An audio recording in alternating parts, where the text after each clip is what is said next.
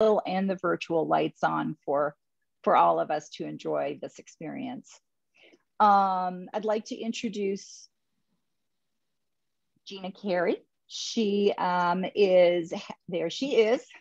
She's a very active uh, and enthusiastic volunteer guide. I would say a master guide, a guide of guides at the Philadelphia Museum of Art for more than 20, uh, 15 years.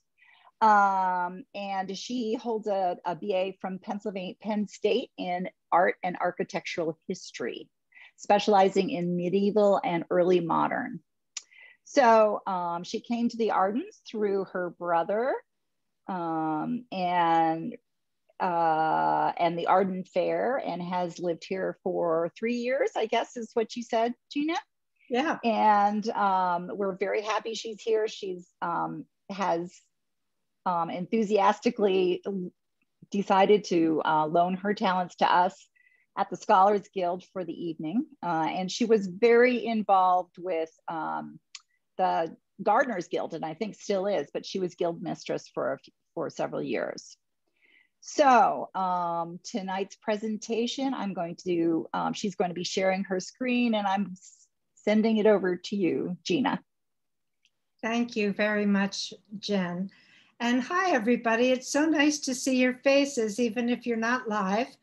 Um, and I'm so happy to be showing you what did you do during COVID? Well, I had a couple of very quiet months. I bet some of you also did. And after the killing of George Floyd and all of the interest in Black Lives Matter, I realized I didn't know anything about the history of Black or African people. So I took on this project to learn and created a presentation, which I have given before, and I just hope you will enjoy it. So I want to share the screen now and find my presentation, which is already started. And I'm going to um, stop my video because I get too distracted looking at me. So here we go. This is about arts from the cultures. There are many, many, and the empires. Who knew there were empires on the shores of the Sahara? The, this is from three recent exhibitions within the last year, actually, at the Aga Khan Museum in Toronto, the Block Museum at Northwestern University, and the fabulous Metropolitan Museum of Art in New York. Did anybody happen to go to any of them? Me either, because you know, COVID.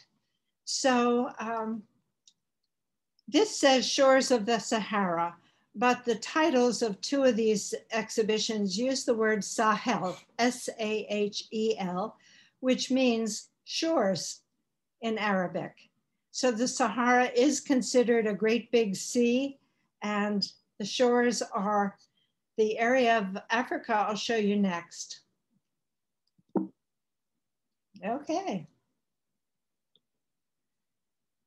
So it's a blurry map of the world, but you can see it goes all the way over to China. There's India, the Asian uh, steppes and the Gobi Desert, Europe, and way up there is Britain. Sorry. So the Sahel goes from the coast of West Africa across the desert and then down about here. So that's the area called the shores of the Sahara. And these are the countries that are represented by it today. It actually covers up to Chad. And as we'll see, these various empires and uh, time periods of popularity and power shift from west to east. And we're going to talk about the time period from about 700 AD to about 1300. So the medieval period of this region of Africa.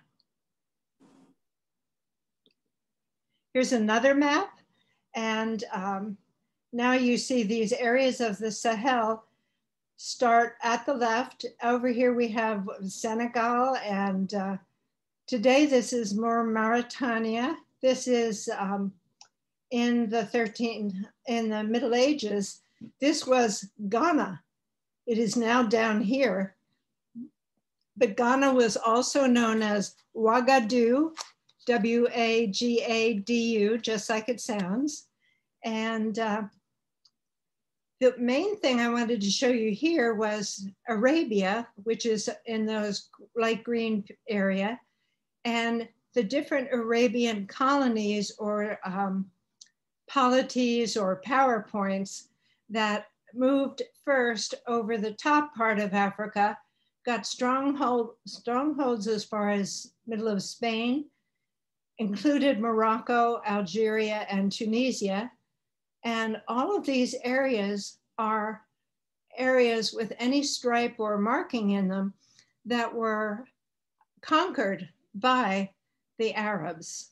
So Arabia contributed many things to um, African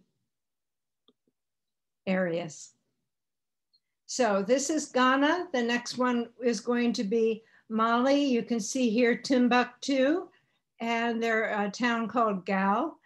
And each one progressively becomes stronger from west to east. Here's another map. This one is showing Ghana in green. And do you see the um, caravan routes?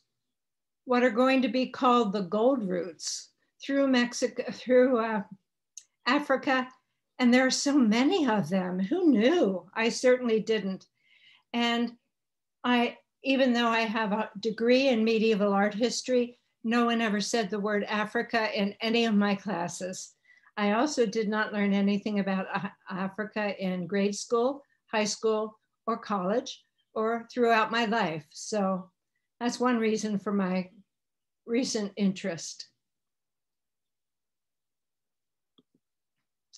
The first thing that got Ghana started in, uh, in the world map was its organization and wonderful ability to mine salt from the desert. Here you can see slabs of salt and they are wrapped and tied by, of course, handmade rope. You can see it here. Then they will be placed on the backs of camels. And you can see already one of the things I love about camels they do not, they will not line up properly. And here they are stacked onto the camel's backs.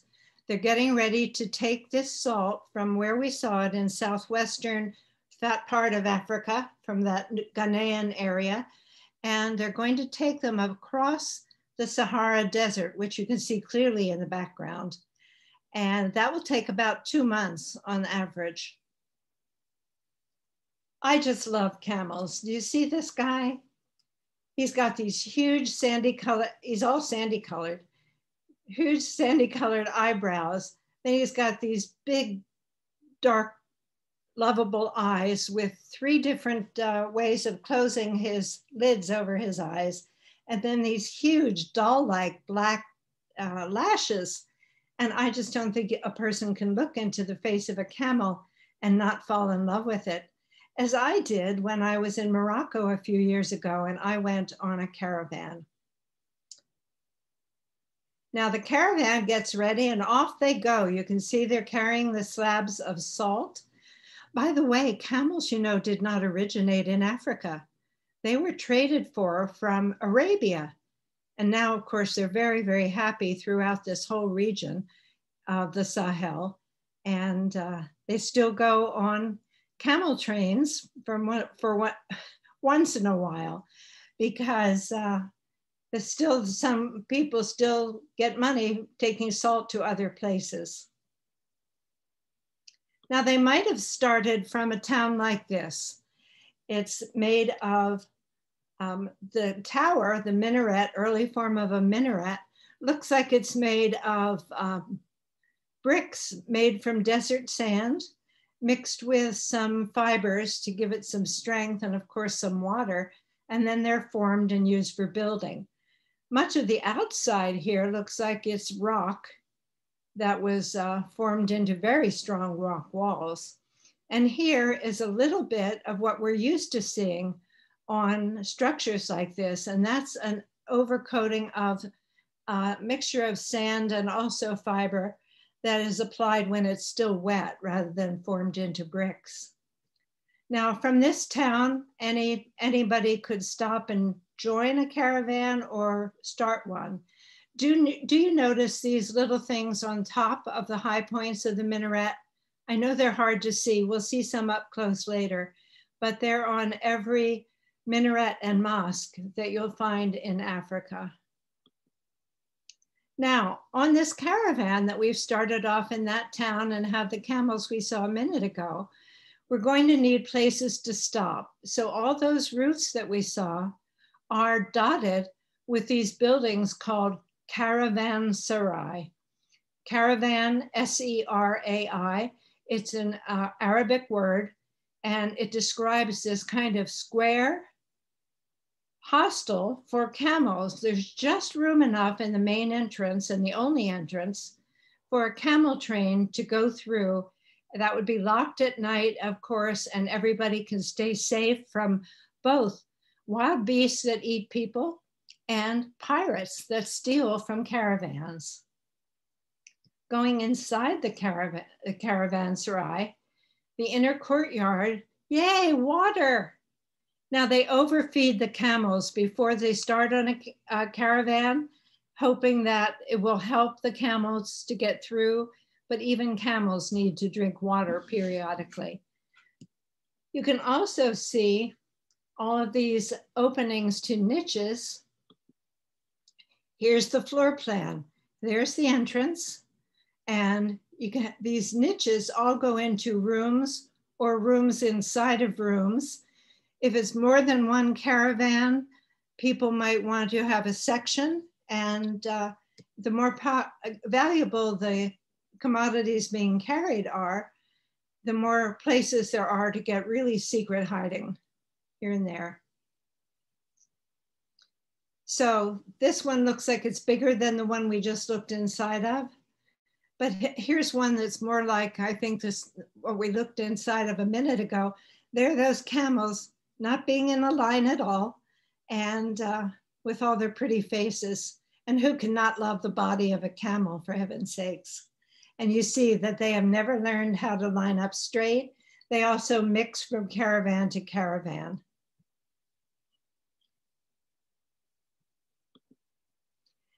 Now, um, Jen mentioned in the write-up prior to this that we're going to see a very complete map this is a map of the world that was done in the 1300s. And if you can see to the right, it goes all the way over to China. Sorry, that's a detail. It's from right down here. And when you get all the way over to China, which for me is behind you people, um, you see that when you get to the top, the figures traveling there are all upside down, including this ruler or leader. This, by the way, is England. Here's Europe, the Near East, the Middle East, it goes down to um, India. And then at the bottom, here is Africa. This map was drawn in the 1300s to 14th century by a man named Abraham Cresques, if you're speaking in Portuguese and Abraham Crestes if you're speaking American. Each panel, each panel is 12, 25 inches tall. So each panel is also eight inches wide. So you can imagine this is very big. And it shows all kinds of wonderful things, which we won't get into. But when we go down here to this detail again, well, first of all, let me show you. This is a trade route from Morocco to Mecca. And that's very important, of course, in Africa and for all Muslims who, as one of the five pillars of Islam, are encouraged and urged to go to Mecca at least once in their lifetimes if they are able. So here's that detail, and you can see a little bit of the caravan route at the north of Africa. And this is a king of Africa We know he's a king because he has a crown. He has a scepter, which even the Queen of England has, and they had the Chinese rulers from the first century had scepters as well. And he is holding a piece of gold, rather hunky, chunky piece of gold. His name is Mansa Musa, and he is being visited by an Arab. You can tell by his headdress, and he's on a camel just to drive the point home. And he is going to probably receive some largesse from this king Mansa Musa. He is, by the way, the richest man who ever lived so far. They estimate his wealth in the medieval period at $400 billion of today's money. So even more than Bezos or the other ones. When, and he had as much gold as anybody ever wanted and more than anybody ever needed. What he did when he went on his Hajj, he took this caravan route, first up to uh, Morocco and then a caravan route over. And when the, after two years of traveling, they got to Cairo. And along the way, and while the two years I think that he spent in Cairo, he dispensed gold so freely to everyone beggars, residents, um, teachers, dignitaries, royalty, and the king of Cairo. That the price of gold depleted for, according to some uh, sources, 10 or more years. That's how much money he had and sort of tossed away. So, gold is the story right after salt. And we all know what gold looks like. And here is how it was worked in Africa by Africans um, in the Middle Ages. It's a pendant that is 18 inches in diameter, or 18 centimeters, so about a handspan or nine inches in width. And you can see it's fixed to be hung around a cord or a chain. And it's solid gold. It's made of big beads and little beads affixed back to the gold. And inside this circle of beads is a circle of um, open work gold. It could have been worn on a camel or a horse, but it was also possible that it was um, worn as a pectoral or a pendant on a male certainly male, not a female figure. Here's some other kinds of worked gold from Africa, but it also shows the influence of the Near East. You know, the Damascene work from the uh, uh, Syrian re region. And can you see this? Um, sorry, this ring? That may be Arabic writing. I have not been able to find out for sure whether it is or not. It doesn't look like standard decoration, so who knows, but Africa was very wonderful with working gold, mining gold, and traveling gold to the rest of the world. In um, the medieval period, three quarters of the gold in the world was sourced from this Eastern African Ghana Empire and Mali that's coming up and the other empires. So here's some gold jewelry, jewelry that's made in Africa. You can see all the different ways they can work it very finely. Here's a cache owned by one person who probably robbed graves or who knows where they got all those things from. But you know, archaeology in Africa is brand new. Nobody ever thought of going there until pretty late in the 19th century, and certainly no, no sustained efforts until about the 1970s. And right now, of course, Africa is a big, big spot for archaeology. I love this golden lion. He's just wonderful in my opinion. He's about the size of a hand.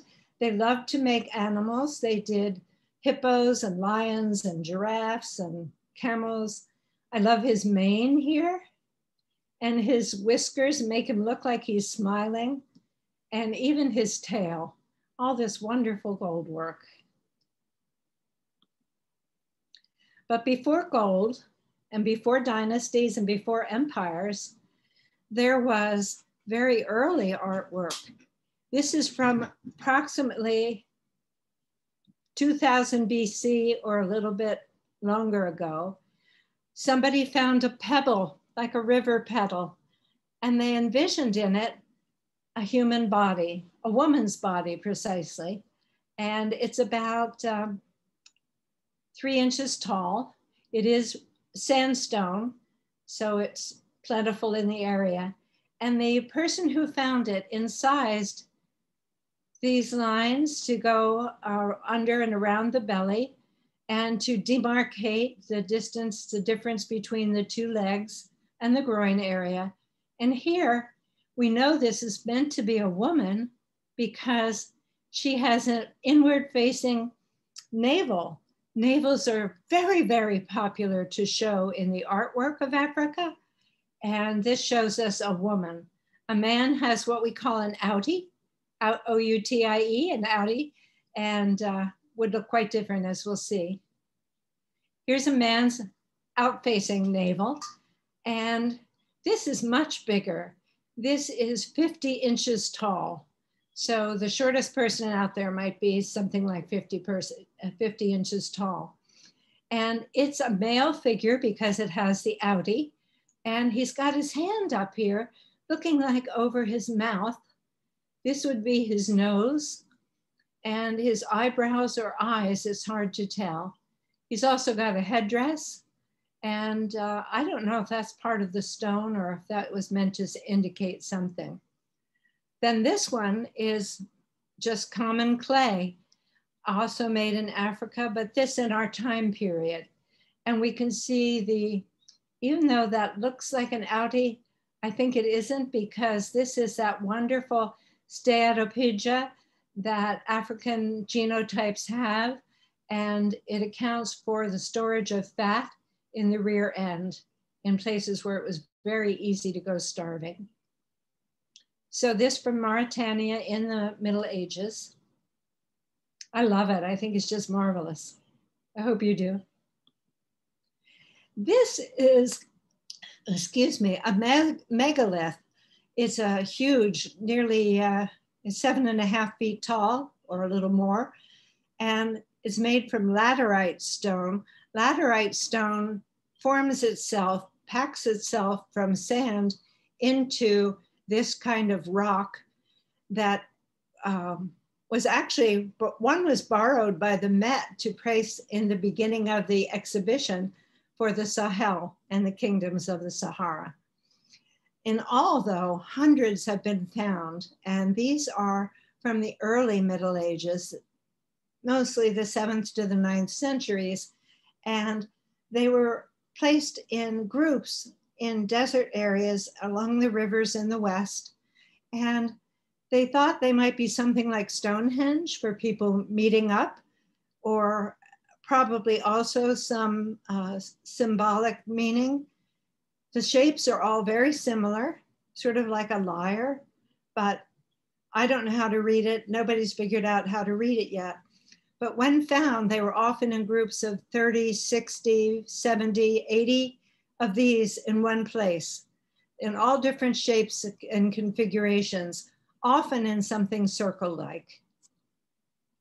But I had never seen or heard of anything like this. There's so much later, if you ever learned anything about Africa in school, please tell me. This is a kind of house that's still popular today, even though modern, modern house architecture has overtaken it in all but the most rural areas. It is a woven house. It might be uh, grasses and it might be rice stalks because that uh, the whole desert, the whole area has undergone a lot of desert, des desertification. And uh, so these are, I'm sorry, the phone really knocked me out. So it's a woven house. That's a fairly small one. That's probably for, oh, a nuclear family or, you know, as many as a dozen people. They also made very big ones, and I found a photo of one on my first time through my research materials, and I never found it again. So you can also imagine this being really, really big and fitting like the whole uh, ruler of the tribes family in there. On the right, there is a clay figurine.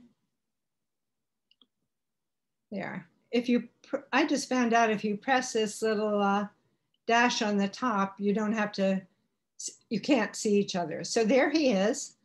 He is a guy trying to get my that off, the talking off. Okay. It's a man and he's wearing, sorry, he's wearing a little, it won't stay up there, a little crown. And even though the hair is very short, it was only women who shaved their heads. So this is a man with some already sort of shaved hair. You can see his face, his great big um, eyes and eyebrows, and then that wonderful full lipped African mouth. Below it, this is his beard. Do you know there are so many styles of beard? I saw in Morocco, I saw braided ones and ones that were cut into shapes like scallops.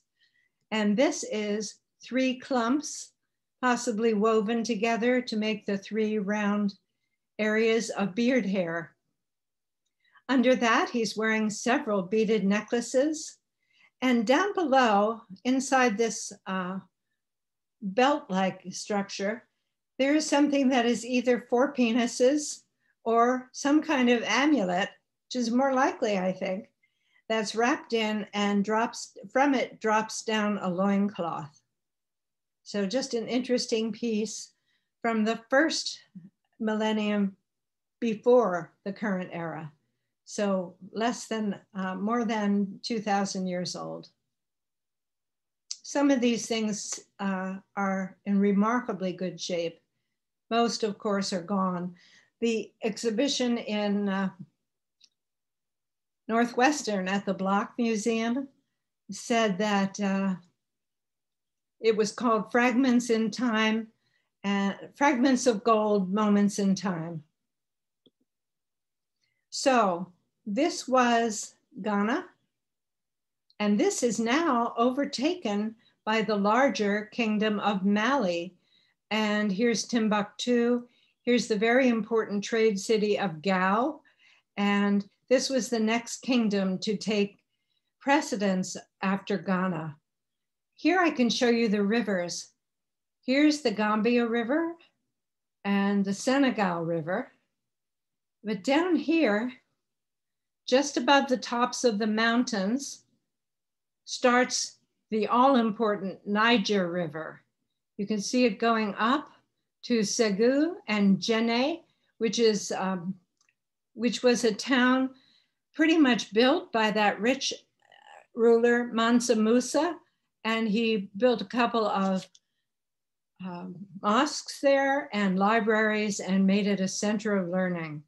It also is in a, an area called the interior delta of the Niger River.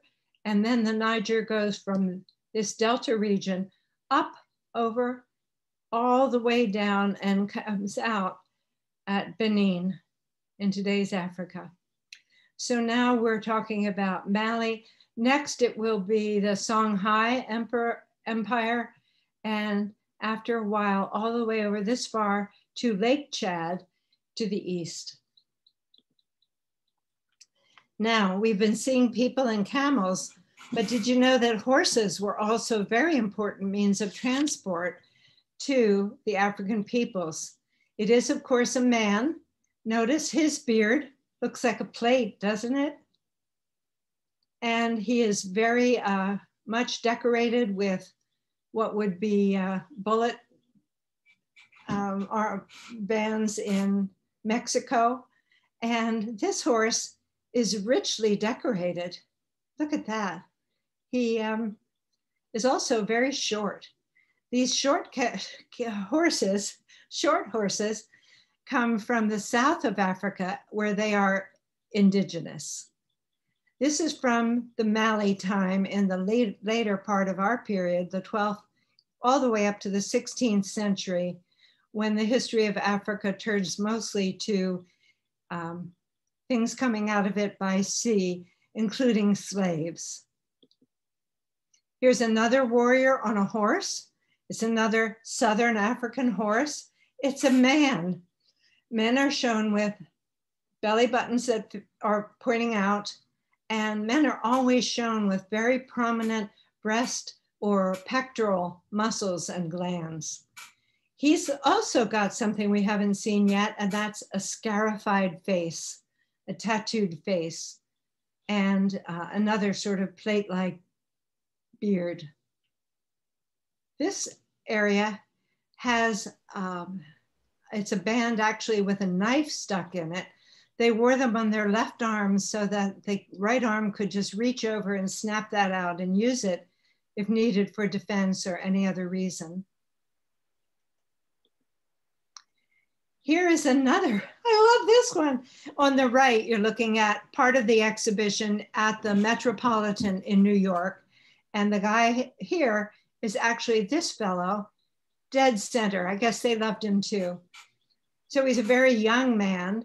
He doesn't yet have his uh, pectorals uh, perfectly broadly displayed, and he's got his tiny belly button. He's carrying probably a ceramic canteen.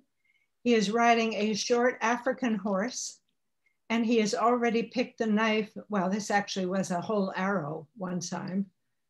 There he is. And uh, look at that arm. Look how lovely and attenuated that is and how plastic. Here's a comparison warrior also from the Met. And you see that he's riding a big Arabian horse. The Arabian horses were brought down from Arabia, just like the camels were. Camels, by the way, were all over by the first century AD in Africa and horses as well. So this is a, actually another fairly young man and he once was holding a spear or an arrow in his uh, right hand. You can see his knife a little bit on his left hand, his left arm. That's the knife and that's the holder.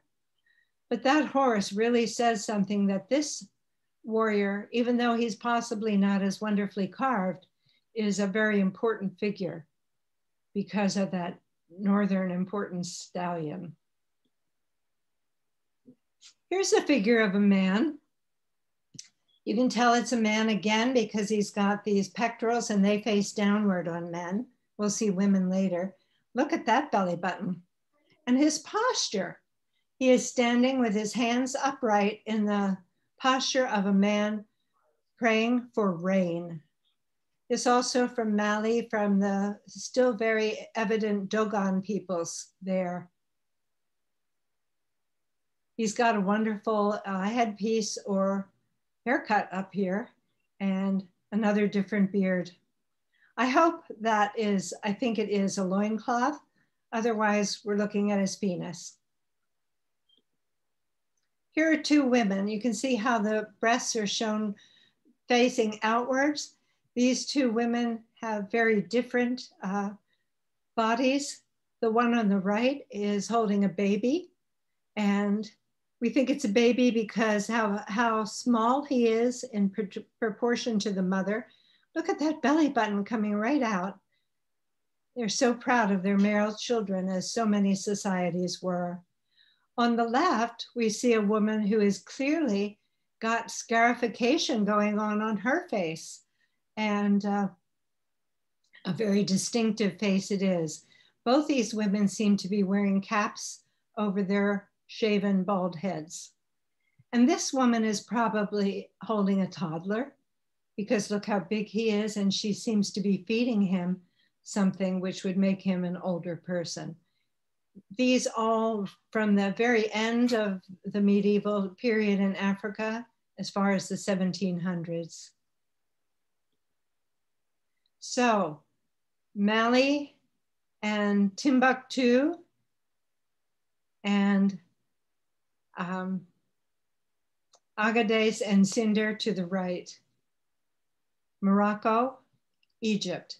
And all of these now called, I think, gold, uh, gold routes if you're American. They have other words for it in other languages, of course. Here's another very famous man I've never heard of. Mansa Musa was so rich that he depleted the price, just uh, lowered the price of gold during his visit. This man distinguished himself by traveling, probably more in the world than anyone else until the 18th century. And you can see these photographs taken of him in the 1300s. He was just a little bit like half a generation later than Mansa Musa, but he contributed a lot in terms of education about the world. And he said, as you see in the quote in the bottom, training or traveling, it leaves you speechless. Then it turns you into a storyteller. Well, here are his travels. And these, once he gets out of North Africa and goes to Cairo and Mecca and up through the Near East, he has become shocked and stunned by what he's seen, delighted by other things. And uh, he stays in this area for a couple of years. Then he takes a, a smaller trip, mostly by water, down to the west, east coast of Africa. My goodness, I hope my mouth catches up with my brain one of these days. So he stayed in this um, Near East area. And then what is now Turkey was then called, um, oh, Armenia. And we're not sure exactly where he picked the trip up at this point, but Certainly he was at southern Armenia, back up and around the Black Sea, all the way down through Central Asia, India, and several different trips on boats up as far as Beijing. Isn't that amazing? In the 1300s. And then, of course, he had to come back. Well, the whole trip took from the age of 21 years to 45 years. 24, inch, 24 years. And he stayed in Tangier, his starting place, for a few years. And then he decided to take a trip down to our area. You can see there's Timbuktu. And at this time, it was Mali was the important um, dynasty, if you will, at that time. So that's a lot of traveling. What did he do? He wrote a lot of books. And these are, there are versions of these still in publication of how he found the world. You can see this is an older one that's been heavily annotated. And we see two different pictures of Ibn Battuta. The first on a camel, and he looks like an old man with a white beard.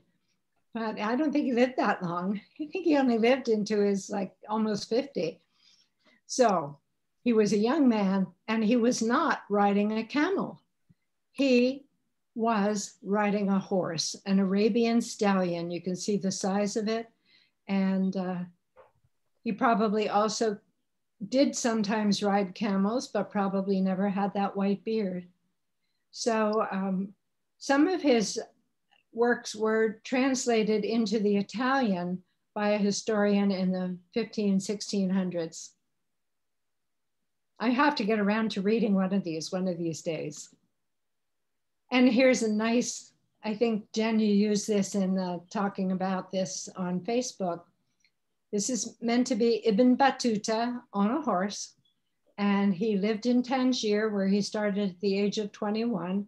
And the reason I love all this, here's Alexandria and Cairo, is it shows the little points of interest along the way. This is an area where he first saw ostriches now we see that Turkey is Armenia before. And look at these trips. They are marked out slightly differently because there is debate. But I love seeing his um, idea or this idea of Mecca and the Grand Mosque. All different kinds of boats popular in different regions and countries at the time.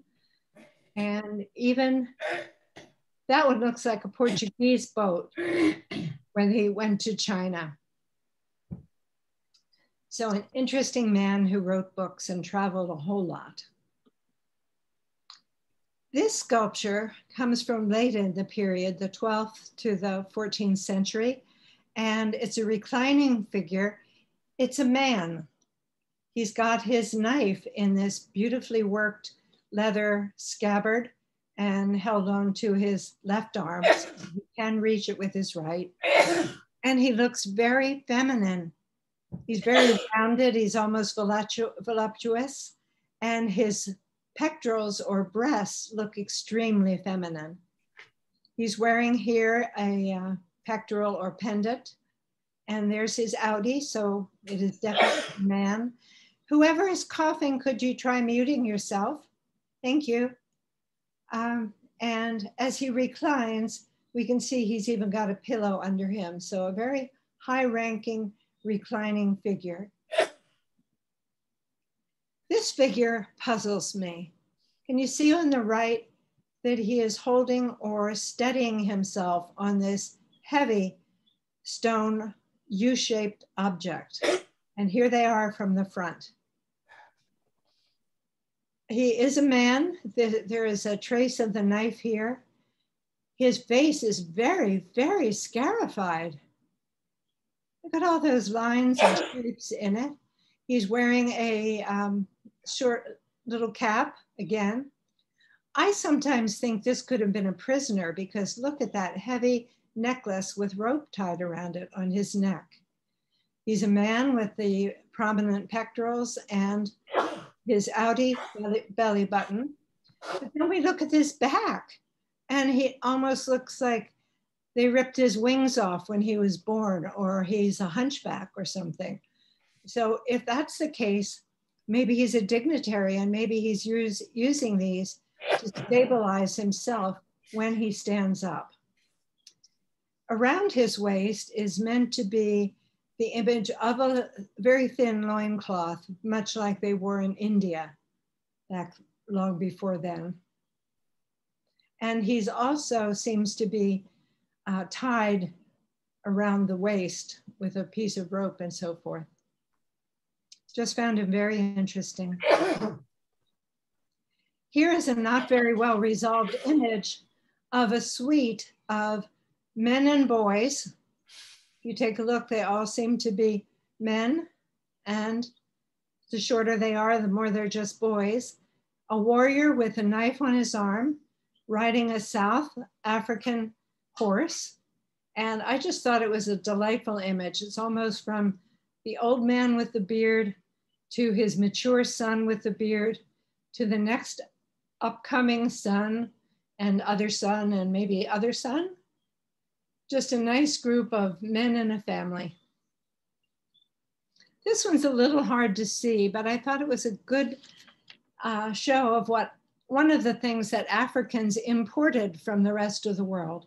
Of course, they made ceramic objects and utensils, but these were imported from Arabia and they've even found, although you can't see them here, pieces of china from China. I liked showing this one because the Arabs had a method of glazing their pottery with white glazes and then with the different colors applied on top, inside those glazes would be gold dust. And that would make the glazes shine, which I think you can see on these two. And uh, it became, it was called lusterware.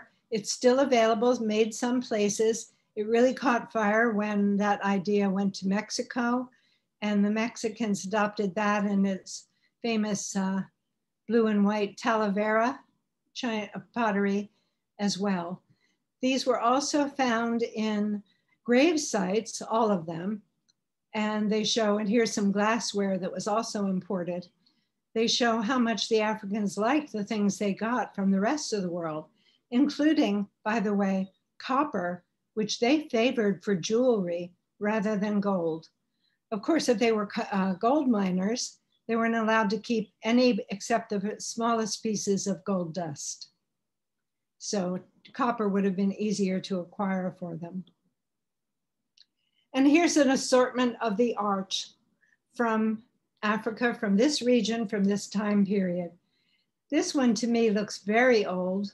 It could be ceramic. I believe it's ceramic. It also looks a lot like the um, alabaster pieces that used to come out of Egypt and the New Near East. Here's a wonderful soldier. He has got a nice safe helmet on his head. He's got his quilted cotton armor. And can you see that these seem to be strips of cloth that are then sewn together? They are made by a loom, which is three inches wide. Excuse me. Down here, we have an intricate piece of metalwork. These are all made in Africa.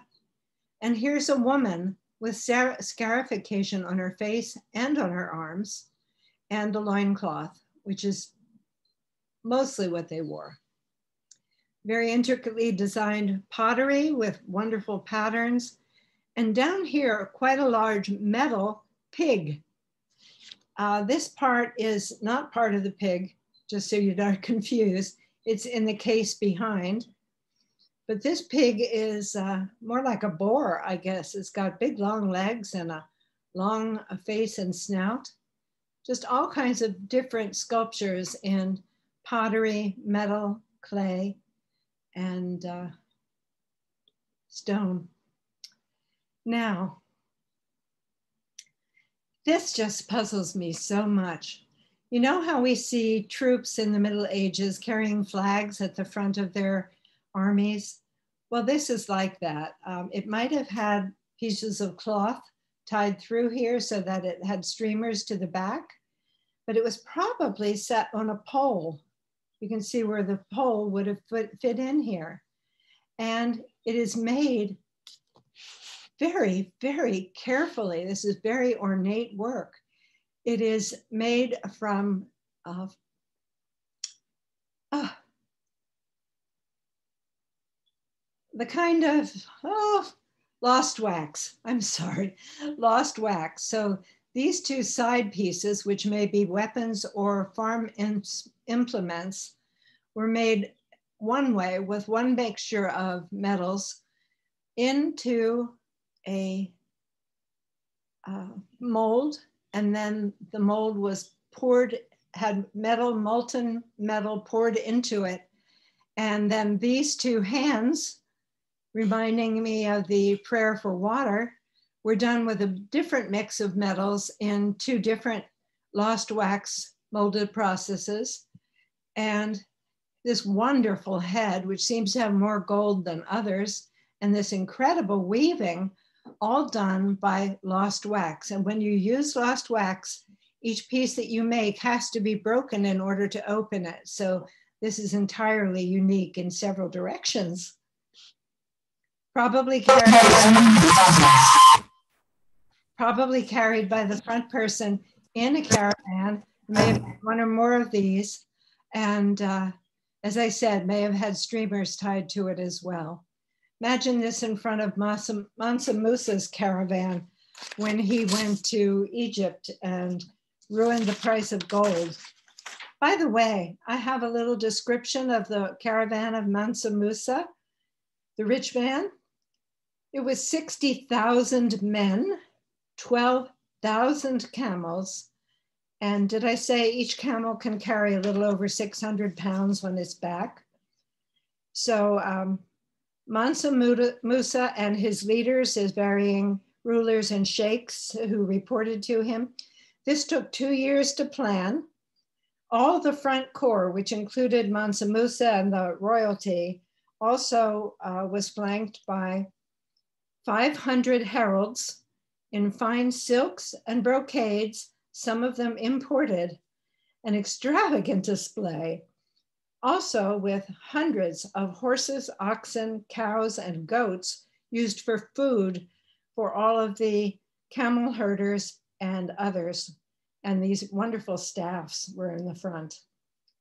So um, they also had hundreds of dancers, musicians, and entertainers so that they didn't have to listen, listen to the same ones every night. Isn't that amazing? This is the earliest example of writing on a piece of stone in Africa. It was found in a graveyard. Well, because it's a tombstone. It's the bottom portion of a tombstone, possibly a half or a third. And the writing is in a form of Arabic. And it was for a ruler who was a woman. Her name was they all, there were many African women as rulers, but as time went by, not only did we forget the history of Africa, we forgot the history of its female rulers. So very interesting that this was found. You know, um, in parts of Africa today, there are still burial grounds. They are clearly separate from the land around it just because they are have borders of rocks around them. And when I was in Morocco, the usual headstone like this would have been a rock or a mini boulder, maybe eight to 10 inches in uh, diameter. So they still mark deceased piece, people with stone. Now, here's a different uh, structure. Of course, it was uh, the is, religion of Islam that brought the idea of a mosque to Africa. This one was not built until I think the oh, 11th century. And it is also made, like the first one we saw, of rocks and sand uh, bricks. And you see it's got wood sticking out from it and these little things on top again. Well, these are travelers in photographed in the 11th century. no, these are travelers probably in the 19th century, or the 19th, late uh, 1800s, early 1900s. I'll show you that mosque today. Oh, first we'll go to the tops. These are actually on every mosque, all of the towers and minarets have ostrich eggs. They have thin bands of metal around them, and they signify just what eggs do for us at Easter. Um, and their um, union of adults to create them and their standard. They, they signify good fortune, honesty, and other positive good things. And this is what the uh, towers look like when they've not been maintained well. But here's that mosque again. And now it has been maintained and restored. You still see the sticks. And here, these are a little different. These are meant to carry rainwater off. In the winter time, in the late winter, January-ish, the rains come. And when the rains come, they tend to melt and strip off this mud plaster that was is on every mosque that we see. And once uh, the rains really get going, February to April, the teams start forming to come up and replaster everything. All the men and boys of the villages will, and in this case, probably a couple of villages, would get together, they'd go out and they'd dig sand and they'd mix it with water and again, um, rice sticks or anything else that uh, would provide some fiber and therefore some strength. And they would uh, use these sleds sort of to pull the stuff along. And when they got to the mosque, they would actually start slathering this mud uh, covering on. So the little boys would hand the stuff up on trowels or, you know, uh, brick making tools. And the men would actually climb up on these until the very top was done. Do you see the ostrich egg? And there it is again.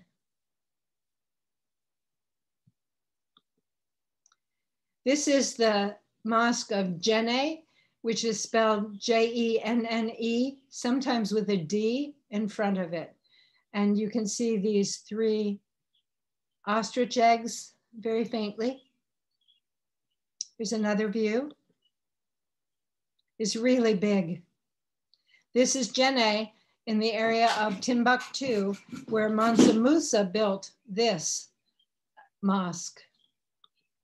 Another view from the side showing two outbuildings. I don't know why. And the entrances, of course, are in the side. Mosques are usually covered on the top half, on the top, but only half of it.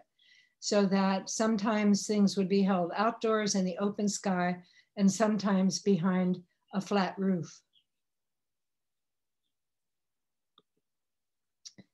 This is another mosque, Bobo Dioulasso, and it was built in 1870. I don't know why it only lasted for 10 years, but you know, there was a lot of warfare going on in this area for control of gold, uh, gold routes, and uh, trade deals, and um, all the people there. And the taking of people for slaves was very common. In fact, when Mansa Musa went to Cairo, he had thousands of slaves out of that 12,000 people. So Africa began, began to be known as a very wealthy place and a place where anybody could get all the slaves they wanted. But look how many, imagine how many men it took to get up there and replaster this with mud. Doorways again, just here on the sides. This is one of my favorite mosque pictures I ever saw and built in the 1400s, so right at the edge of our time period. It is in Ghana and it's the oldest one in West Africa and it's referred to as the Mecca of West Africa and people make pilgrimages to go there. And look how they carefully find the sand with enough things to make it white in there. a beautiful piece of sculpture in my eyes. A head from Nigeria, just a little bit to the east of the Mali kingdom, and at the end of our time period. Notice first how scarified the face is. Each line or each uh, scarification mark has been gouged out of the skin by a sharp instrument and then filled with, today in Central America, they're using ash which turns it blue, but I'm sure they had other colors as well. So this is done in a copper alloy, which means it's got from some gold in there with the copper. Look at the headdress, it's almost like a crown and this wonderful scarification. His eyes are even done on the lids and his ears are done as well. His beautiful African full lips.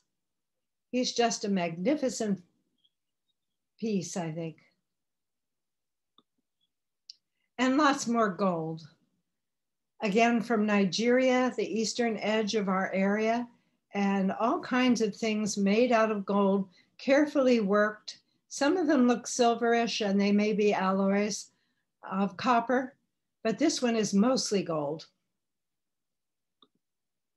Now, here are the things that call to mind fragments in time things that have been found in burial places that uh, are known to have been made in Africa. We have this uh, ceramic piece, some kind of a lid or possibly a plate, some shards. This may be, although I'm not, the, I think it may not be as equally, the piece that was found from China, made in China, buried in Africa. There are all kinds of beads and stones and glassware, different colors, coins, and bracelets. This metal one would have been tied across the arm. I'm not sure how this ceramic one would have fastened, but just some of the things they're finding now as they're doing archaeology in the region. Clothing. This is a woman's dress and I love how it's made out of pieces of hide and covered with dyed cloth. And look at these, all these beads around the armpits and the neckline. And this would have been uh, just about knee length. From the eighth century, found in a tomb. They have found tombs, by the way, and there are many from Sudan to the east. I just saw a presentation on them from the Smithsonian Magazine. If you can get that, it's a wonderful show. Young man goes to Sudan and finds all these wonderful structures and what have you. So this was from like the end of our period, the beginning to the end, a men's tunic, and it's made of cotton. Can you see it's done in on a three inch loom and the pieces are sewn together? Much easier to see up here from this very modern piece, almost 1700 AD. And there was music. How fitting that we get to music. We'll end with it. This is the kora. It's a calabash with a piece of hide, usually cowhide, and a, a long thing, which uh, an arm. And there are sinew, sinew of uh, antelope making strings. This is a small modern one. These are two little bits that help it uh, fit, fit on that rest onto your body and so forth. And here's a man playing a large one. Again, a photograph from the Middle Ages, but uh, he's handsome, his dress is handsome, and that's a whopper. And this is probably a woven dwelling and another one behind. It is a forerunner, of course, of a guitar-like instrument and a lute. This is a bala.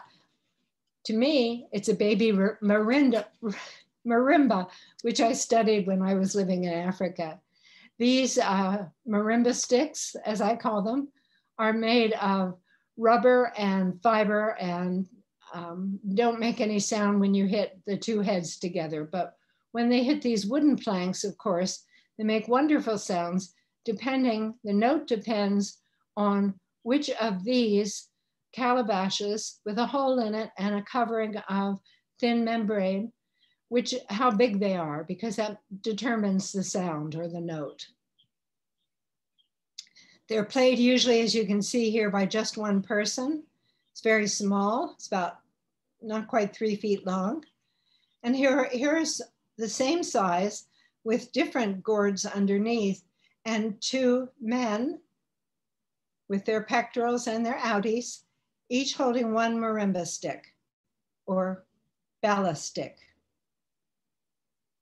Very uh, different from the Central American and Mexican ones who hold several sticks in each hand as a show of mastery. Now, before I say goodbye, I want to show you this wonderful hand that was carved um, in the third to the 11th century. Who knows how old? And I'm going to use it to say bye-bye. It's been wonderful talking with you. I hope you learned new things. And now we're going to hear the music.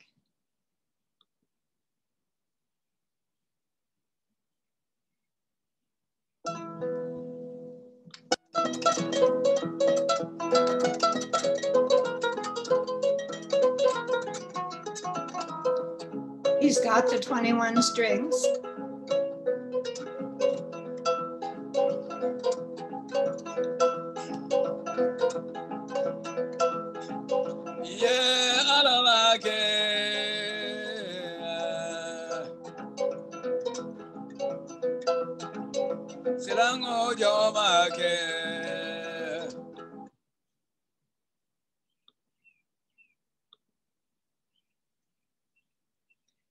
I want to uh, find my, my face.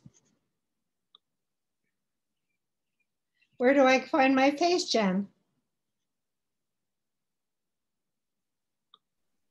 You are there. We can. Oh, you can see me. We can see your um, still photograph. Okay. I don't know so how to you, get my real face back on here. Does anybody? Um, I think not get, sure. Get share screen uh, down at the bottom center. Yeah. Nothing here. Jeana, yeah, if you want to stop sharing your screen, I think it will be easier. Stop share. There you go.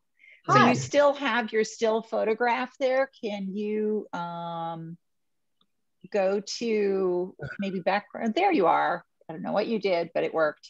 Hi. Hi. So did you learn stuff? Mhm. Yes, very Yes, good. yes, quite a bit. Yeah. Did Yeah. anybody study this art or the people in school at any level? No, No, no, No. no. Isn't it amazing that we don't know anything or not taught anything about a whole continent? Yeah. Yeah, Just blows my mind. So Mhm. when you're doing your anti-racist uh, meetings and others Yeah. gatherings devoted to the saving of Black lives and Black people, I hope you'll remember some of this. Do you have Yeah. any questions? yeah. Uh, thank you very much. You're so welcome. You've opened all sorts of So- doors. Thank you. Jeana, I do have a question for you. I'm hearing all of you. Okay, so Jeana, I do have a question for you. The map um, that had Ibn Battuta, um, was that where? Where do you think that map was created? Which one are you talking about? The one with all the scarification? No, no, the map at the beginning that you showed. Uh, Ibn On the map. Battuta, his uh, routes across Africa. I was just curious, was that uh, a map that might have been made in? Um, where would that have been made? You think? Are you talking about the map that went all the way to China and showed the upside down people on Yeah, the guy. Well, no, no, not that one. One that showed is the the guy that had the was the explorer that went all over Oh, Ibn Battuta. Beijing and back. Ibn Battuta. That was, no, I don't know anything about where that map was from. I did when I first got it, but I have not since. I will keep looking though, and when I find out, I'll let you know. Looks like there's another uh, question from Sally. Uh, where was the gold mine? It was mined in the desert, in the outskirts of the Ghanaian Empire and the southern part of the Mali Empire. And it still is today, although we've mostly robbed all of the natural resources from Africa at this point, except there are still some diamonds left. What's left? When did you have comment? When? I thought I thought I heard you making a comment before, but I didn't catch it. Oh, unmute yourself. Unmute yourself. I Can't hear you. I was just thanking you for all the doors you've opened for us.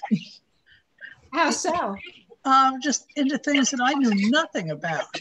And, and, and now I know some questions and I have some context. And I love it. Really, I agree. Who is that? Anyone else? A question or comment? that could be. Yes.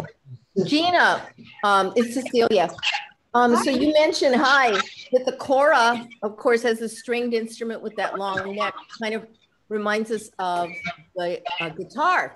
But actually, the kora is a much more um, a direct descendant, direct um, ancestor of our banjo.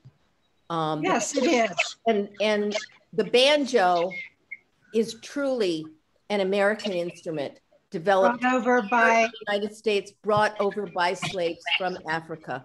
and at the art, at the art museum, I think it's interesting to point out, we are told to say, and it makes such good sense, enslaved people or people who mm-hmm. were enslaved rather Yeah. than slave, because slave is oh, automatically demeaning.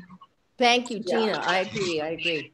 Yeah. Do you know, you know where the word slave comes from? Oh, from the. Slavs, from the Yeah. Slavs. Yes, because they were also enslaved. Yes, A lot of Slavic. Uh, yeah, and the word carried through from time immemorial. The, the word slave from Slav. right. The uh, the Nordic people did a lot of that. They did a lot of using the Slavs. They went down and got Slavs. Yes, indeed, they did. Right. Anyway, well, thank thank you, Jeana. I, this was really fascinating. My pleasure, seriously. Okay, any further questions? I just muted a few people because there was some background noise. But if you would like to ask a question, go ahead and unmute yourself and uh, pipe up. Otherwise, um, we can say good night. but I'll just give it one more moment. Okay, I would love to, I love that, that you did this presentation. It was really fascinating. Thank you so much, Jeana. You're so and we really appreciate it. Fascinating, beautiful work, and uh, you know, so informative. So thank you. Yeah. You're so welcome, everyone. Thank you for coming Jeana- and sharing it with Jeana, thank you very much. thank And, you. and Jennifer too. Yeah. And Thank we'll see you all in September, you. I hope. Yes. Bye-bye. Bye. Bye-bye. Good Good night, everyone. Yeah.